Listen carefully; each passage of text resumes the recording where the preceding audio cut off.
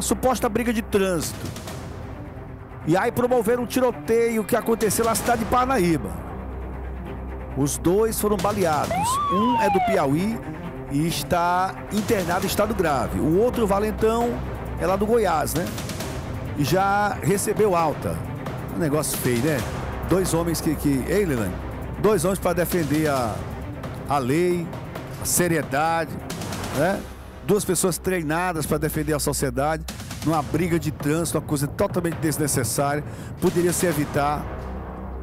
Eu não sei como não, não, não ocasionou de outras pessoas também ficarem feridas, né? É, é os caras são preparados. Tu é doido. Vamos saber, o Wilder Moção tem informação aí, né, Lelane? Wilder Moção na tela do pancadão. Já já tem a bancada do povo do Piauí. Vai! O tiroteio envolvendo os dois sargentos da Polícia Militar ocorreu neste local, aqui na cidade de Parnaíba, bem próximo a este cemitério. Um dos sargentos, identificado por Sargento Marcos, presta serviços na Polícia Militar do Estado do Piauí, lotado no 2 Batalhão Major Osmar, aqui da cidade de Parnaíba. O outro sargento, segundo as informações, identificado por Carlos Augusto, é um sargento reformado da Polícia Militar do Estado de Goiás.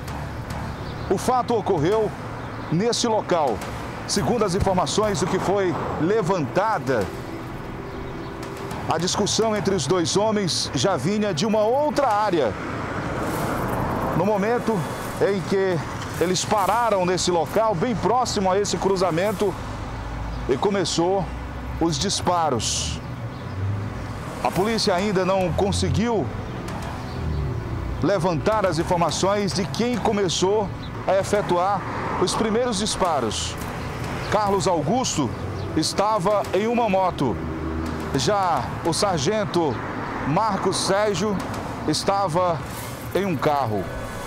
Muito possivelmente, alguns quarteirões daqui, eles iniciaram as discussões. Foram diversos disparos. Nas imagens mostra, inclusive, o sargento da Polícia Militar do Estado de Goiás sentado em uma cadeira com uma arma na mão, um revólver calibre 38. Em outras imagens gravadas por populares, mostra o sargento da Polícia Militar do Estado do Piauí no chão, baleado. As informações apontam de que o sargento Marcos levou cinco tiros, três na região do abdômen. Daqui, os dois homens foram levados para o Hospital de Seu, aqui na cidade de Parnaíba.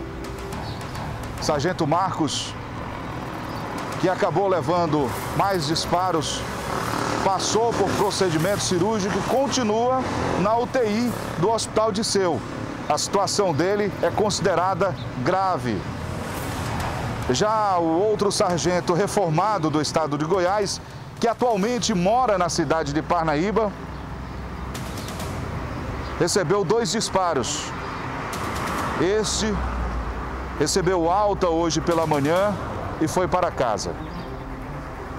Na Polícia Civil, o delegado regional, que inclusive estava de plantão na Central de Flagrantes, informou que só recebeu o procedimento no final da tarde e que a polícia agora começou as investigações para saber realmente o que aconteceu e de onde partiu os primeiros disparos para que possa a partir daí saber dos dois homens quem é vítima e quem é acusado.